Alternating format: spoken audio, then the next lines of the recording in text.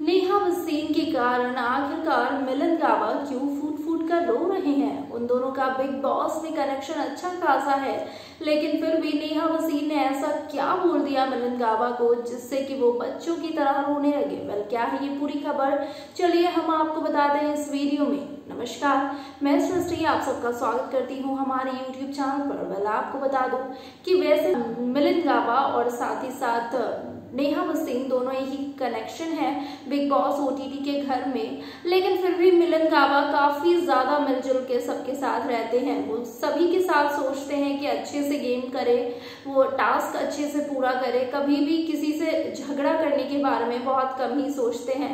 लेकिन नेहा वसीम मिलन गावा को ये समझाती नज़र आती हैं कि नेहा वसीम यानी वो कनेक्शन है मिलन गावा के साथ और दोनों को एक दूसरे के साथ ही गेम खेलना चाहिए।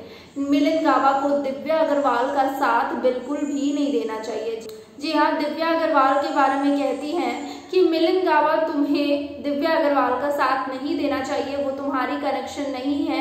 तुम्हें सिर्फ़ और सिर्फ़ मेरे साथ गेम प्लान करना चाहिए, मेरे साथ टास्क अच्छे से करना चाहिए। जबकि मिलन गावा ये कहते नज़र आते हैं कि ये घर है बिग बॉस का घर है, और कोई भी मेरा दुश्मन नहीं है जिसके साथ मैं गेम प्लान ना करूँ, या फिर टास्क अच्छे से नहीं करूँ, या फिर बात अच्छे से नहीं करूँ।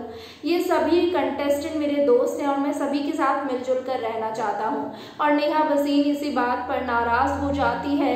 मिलन गावा से, मिलन गावा की ये सोच ये ज़ाहिर करती है शो में कि वो कितने ज़्यादा सॉफ्ट हार्टेड हैं और सबके बारे में कितना ज़्यादा सोचते हैं। बल्कि नेहा वसीम की इन बातों को सोचकर मिलन गावा को काफ़ी रोना आ जाता है। वो फूट फूट कर रोना शुरू कर देते हैं और बहुत उन्हें अफसोस भी आता है कि उन्होंने ऐसे कनेक्शन को रखा है, जिस, जिसके वर्ड सॉफ्ट नहीं है, वो सबके बारे में नहीं सोचती है। और ये सोचकर मिलन गावा एक कोने में जाकर काफ़ी ज़्यादा रोने लगते हैं। तभी अक्षरा सिंह आती है। अक्षरा सिंह, नेहा वसीम दिव्या अग्रवाल और साथ ही साथ मिलन गावा तीनों को एक साथ लेकर बैठती है और सब कुछ सुलह कराने की कोशिश करती है। वेल, ये तो देखना काफ़ी ज़्यादा इंटरेस्टिंग होने वाला है शो में कि दिव्या अग्रवाल के चलते कहीं मिलन गावा और नेहा वसीम का कनेक्शन वेल ये देखना तो काफ़ी ज़्यादा इंटरेस्टिंग होने वाला है कि कहीं दिव्या अग्रवाल के कारण शो में मिलन गावा और नेहा वसीम का कनेक्शन टूट नहीं जाए। वेल आपका क्या कहना है? नेहा वसीम के सोच के बारे में हमें कमेंट सेक्शन में बताना बिल्कुल नहीं भूले। साथ ही साथ एंटरटेनमेंट दुनिया की बाकी खबरों के लिए जुड़े रहिए हमारे चैनल के साथ। धन्यवाद।